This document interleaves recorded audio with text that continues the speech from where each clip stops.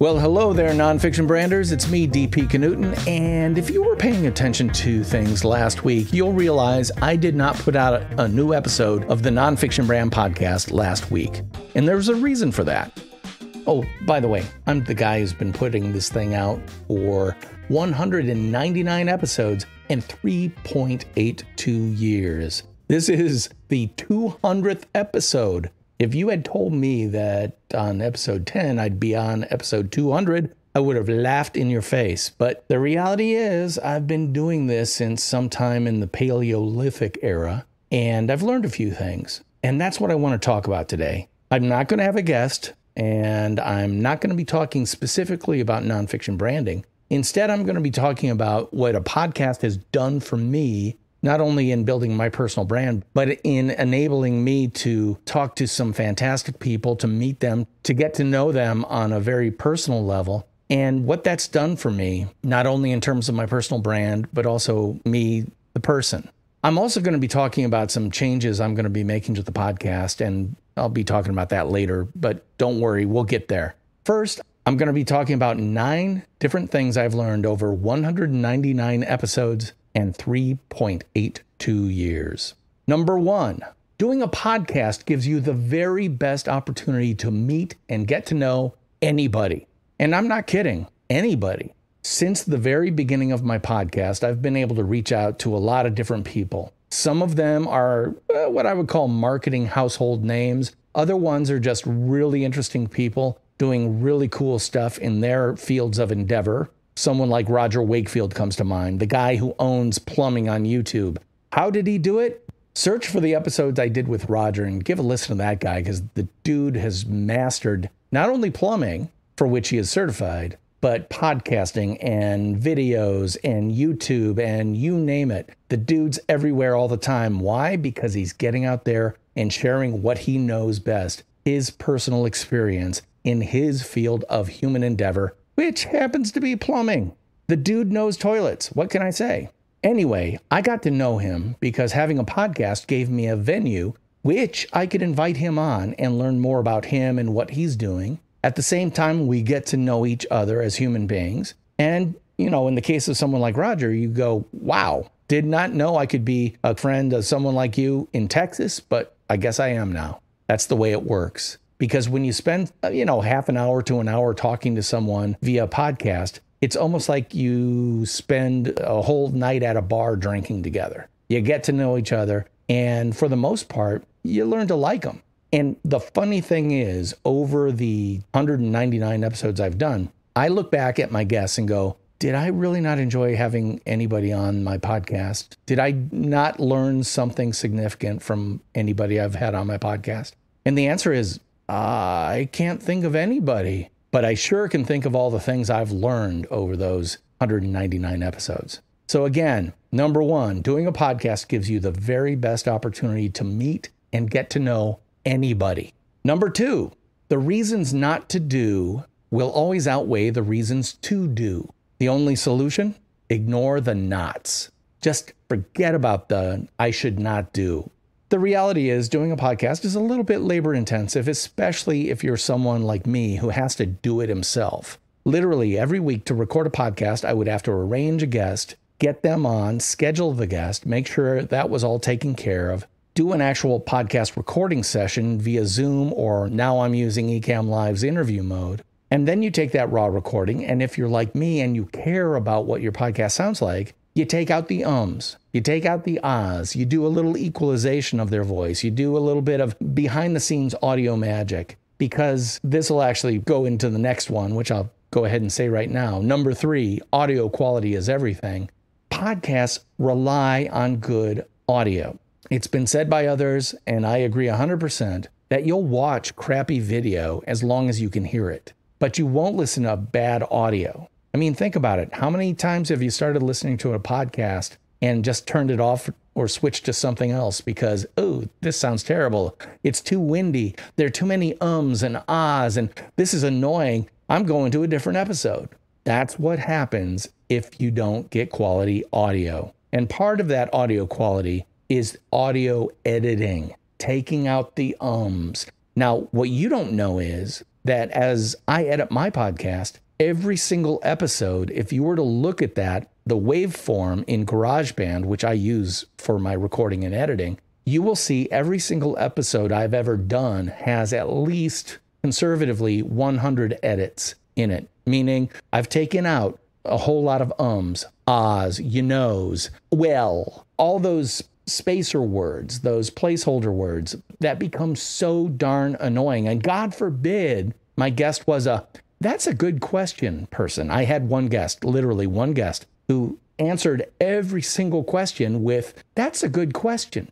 To which I say, Not all questions are good questions. You get to say that once, and I actually know why you're doing it, which is, I am saying that's a good question so I can think about the answer.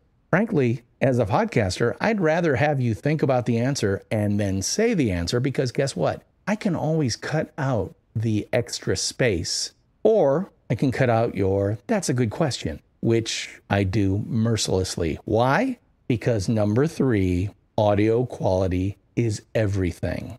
Number four, judge not a craftsman by their tools, but how they use them. Now, what does this mean? All right, so I've had some top tier podcaster types on my podcast, and we get on, and they've got the Shure SM7 microphone that is the same microphone Joe Rogan uses. They've got the beautiful background, they've got the lights, and you name it, and all that stuff. And their audio sounds like crap on my end, and I can't do anything about it. On the other hand, I've had people who were sitting literally in the walk in closet of their home with nothing more than an earpods, an Apple earpods microphone holding it up to their mouth, and they sounded pretty darn good. So, which is better, the $400 SM7 Shure microphone or the $25 earpods microphone? It all depends on how you use it. So, I'll be honest with you, the fact that that person went into their walk in closet to get an absolutely quiet room, by the way, clothes are fantastic sound baffles. They made my life as an editor so much easier because they sounded good. I was able to EQ them, use equalization to make them sound even better. And here's one of my things too about my podcast. My goal is to always make my guests sound fantastic, not only because their content is great, which, you know, I try to get out through questioning and having conversation, but also sound quality. That is my goal. And that's why a lot of people enjoy coming on my podcast. Its reputation speaks for itself because people listen before they decide to come on the podcast. Guess what? They'll listen to a couple of uh, episodes and they listen and go, oh, wow, that sounds great. That guy sounds great. I'm going to sound great. Of course, I'm going on.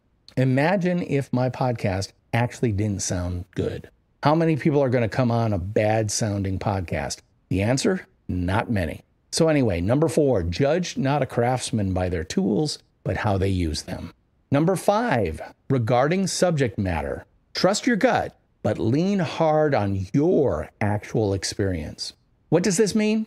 This is a marketing podcast, it's a branding podcast. It's not uh, dealing with a whole lot of areas that I don't want to deal with. Why? Because I'm trusting my gut. My gut has been saying for years that cryptocurrency is a scary place to be, and NFTs are an absolute shiny object waste of time.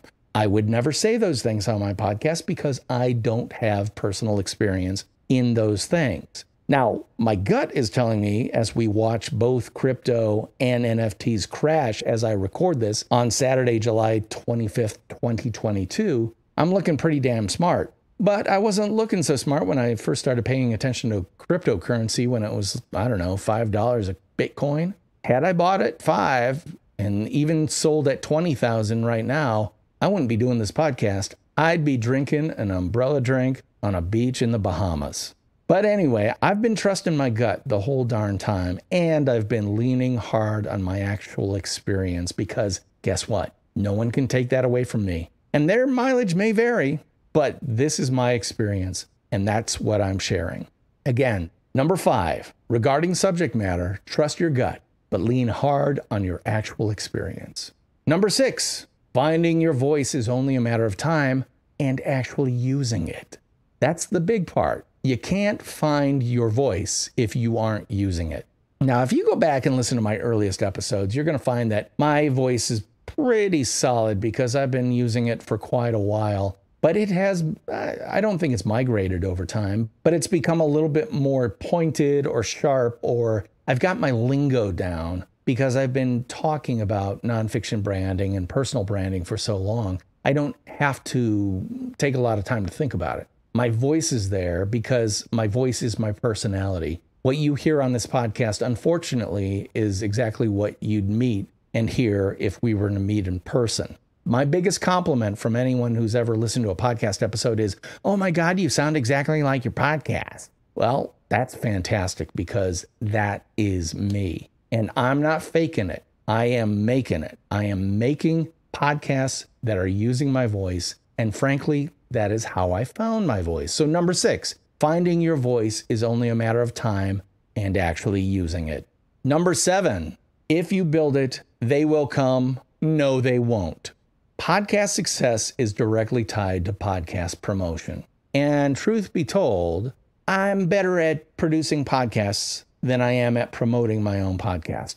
All the bandwidth I have available is used to promote the podcast, to get guests, to do the scheduling, to do the editing, to do the posting, to do the back end promotion of it for the week of every episode. And frankly, I just don't have a lot of time there. And I know a lot of you in the audience are probably saying you should get a VA or someone who specializes in that type of stuff. And the reality is, eh, I'm not going to do that. That's not me, at least not now. And it's not going to be me for the near future for reasons I shall talk about it in a few minutes. But the whole point is doing a podcast and posting it on Libsyn or Podbean or any of the other podcast hosting sites, that won't instantly get you notoriety or on the podcast listening list of people who enjoy the podcasts about which you speak.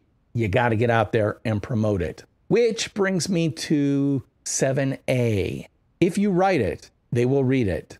No, they won't. You need to put even more energy into promoting it than it took to write it. This is a hard earned thing that I've learned over two books that were self produced by me Rotoma, The ROI of Social Media Top of Mind, and my latest book, Nonfiction Brand Discovering, Crafting, and Communicating the Completely True, Completely You brand you already are.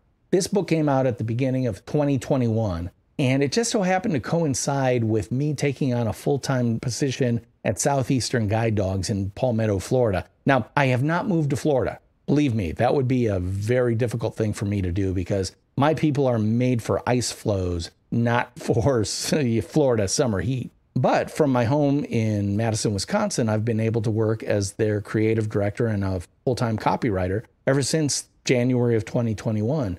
Again, my book came out January 1st. I started there January 4th. That kind of messed with my mojo when it came to promotion. And frankly, that's the way it had to be because the majority of my focus had to shift to something else rather than in promoting the book.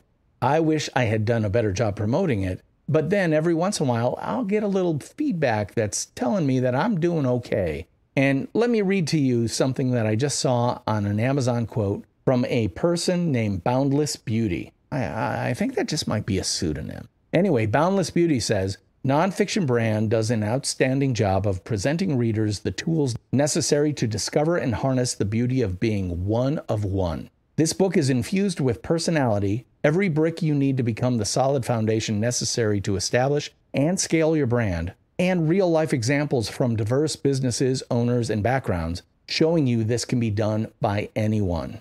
This book is a must read for anyone wanting to connect to who they are authentically and to become a brand that will live on. Thank you. You do not know what this means to me, Boundless Beauty. Getting that kind of feedback is like food for the soul. Thank you so much for that. And by the way, what am I doing, podcast listeners? I am doing 7A. If you write it, they will read it. No, you need to put even more energy into promoting it than it took to write it. So please check out the nonfiction brand, discover, craft, and communicate the completely true, completely you brand you already are, available right now wherever you are on Amazon.com, Amazon.au.co, or whatever it happens to be in your neck of the woods. Check it out. Search for nonfiction brand and throw in my name, Knudten, K N U D T E N. That'll get you there. All right, now we're getting close to the end of this episode, but these are two of the things coming up that I wanted to talk about in this episode specifically. Number eight, rise and grind is for coffee, not a balanced life. What does this mean? Well, it just means that I've been doing this for, say it with me, 199 episodes and 3.82 years. And frankly, I'm getting a little bored and a little tired. So I need to do some things to change it up. And one of the big things I need to do is take a little time, which leads me to number nine. If eight is rise and grind is for coffee, not a balanced life, nine is for every field needs to fallow, including mine. As a longtime creative director and copywriter, I always considered my downtime not as wasted time, but as very much like a farmer's field that is allowed to go fallow for a period of time so it can be more creative and productive at a later period of time. So that's what I'm going to be doing. For the next month, I'm going to not put out episodes. If this is episode 200, episode 201 is going to come out later, probably after the summer of 2022, with a new format that is based on one guest over potentially a longer period of time. Right now, podcast episodes have been running about 20 to 30 minutes. I anticipate the new ones are going to be more like 35 to 50 minutes, depending on how the conversation goes, because I want to bring more quality people to you and now that I'm using a new matching tool called Podmatch, you can check it out at podmatch.com. Full disclosure, I'm not paying for it and they aren't paying me, but I'm using it like crazy and I'm finding it tremendously helpful in identifying podcast guests. Because I'm no longer having to beat the bushes to find guests, I can have more of them on. So, consequently, instead of having one guest over two consecutive weekly episodes, I'm going to focus every conversation on one guest and during one week. So, starting at episode 201, expect to see a format change, mostly in terms of duration, uh, guest appearances, and stuff like that. The topics aren't going to change because they've always been based on who I'm talking to, but it's all going to be revolving around what I call nonfiction branding, telling the truth about who you are, or as I like to plaster this bumper sticker around, know who you are so you can be it. If you don't know who you are, that's job one. And then job two is demonstrating who you are effectively every day via every channel in a what I would call a nonfiction way. Be your nonfiction self. So again, number eight and number nine, rise and grind is for coffee, but not a balanced life. And nine, every field needs to fallow, including mine. Consider it a sabbatical and check back in a couple of months. I want to thank you so much for listening to the Nonfiction Brand Podcast. It means the world to me, and I really, truly appreciate it. By all means, check out my book, Nonfiction Brand, on Amazon, wherever you happen to be. Just search for Nonfiction Brand and Knudten, K N U D as in David, T as in Tom, E as in Edward, N as in nothing.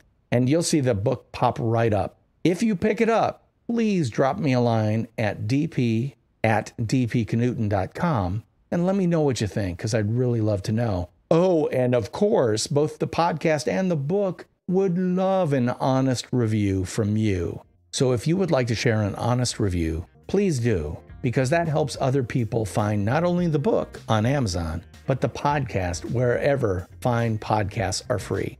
Well, that's it for me. I'm taking some time off and I hope to see you on the other side of this sabbatical. Until then, I'm your host, DP Knudten, and this is the Nonfiction Brand Podcast. I'll be talking at you again sometime after August 2022. Bye bye.